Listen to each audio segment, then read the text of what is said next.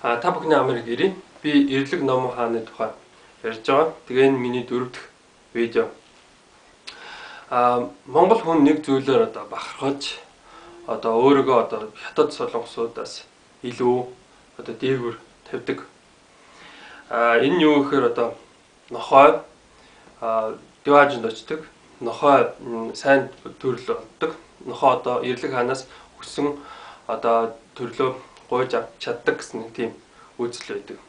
Тэгээ хэрвээ нохоо алах юм бол хүн алсантай адилхан тийм тэнцүү нүгэл болдог гэж итгэдэг. А эрлэг хаан нь болохоор одоо та нар одоо нохоо одоо гомдоогод үзээрэй би та нар гэсэн ихэн олгой шоу гэдэг тийм бурхан юм. Тэгээд энэ нь болохоор одоо тэр бурхан багшийн хэлсэн тэр одоо жишээ юмыг одоо логикоор одоо сэтгэж бодооч гэсэн нэг тийм хашилдаг Тий. Аа одоо нохоо бол одоо жишээ нэг тийм буддист ламтай адилхан энэ гэсэн нэг тийм зөөрлөл байдаг.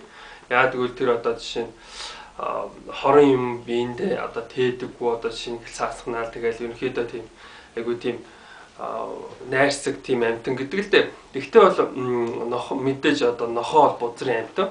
Нохоо бол одоо булан бүрийг одоо шиншилж бузар бүхнийг одоо үнэртдэг.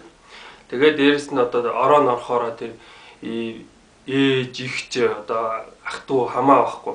Эзнээ ч ялахгүй одоо тэгэж одоо заваарах гэдэг тий. Тэгээд юу яадаг манай өвөө нэг өдөр манай гэрийн нохог хөөгөлөөсөн. Яасан бэ гэсэн чинь хажуу айлын нохоо өгчгэр нь махнаас нийтчихсэн байсан. Тий.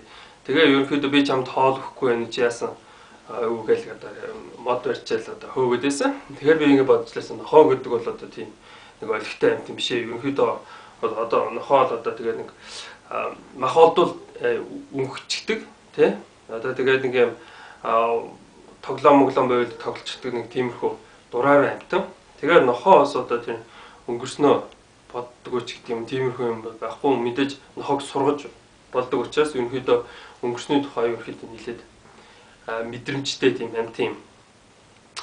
Тэгээд одоо ийм амтан одоо жишээ нь яагаад ч юмтэй одоо тийм диважинд очдог гэхээр их тийм сонин гаж байна л да. Энэ болохоор яг монголчуудын өөрийнх нь эртнээс одоо байсан одоо ихтгэл бишрэлтээр суурилсан юм аа. Нохоо одоо ингээд одоо хүн хүнийг бараадаж тийм хотыг бараадаж амьдардаг.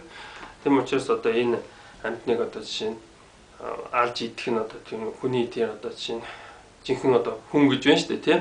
Хүний одоо тийм юунд ёсонд нийцэхгүй юмаа гэсэн үднээс одоо иймэрхүү тийм шашны юм гаргаж ирсэн байдаг. Тэгээд ирлэг хаанаас болоод одоо монгол хүн нохоо алдаггүй нохоо мах иддэггүй байх юм аа. Анхаарал тавьсанд баярлалаа.